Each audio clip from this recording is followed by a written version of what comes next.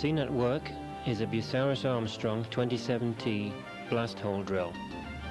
It is in the Richmond mine near Palmer, Michigan, for the M.A. Hanna Company.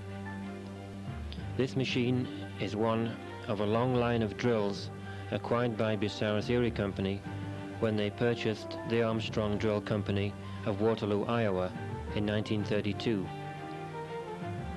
The Bucyrus Erie management considered the addition of drills to their excavator line as a natural, as most of the market for these machines was with the same customers, open pit quarries, mines, construction firms preparing foundations, and any large job requiring blasting of hard rock.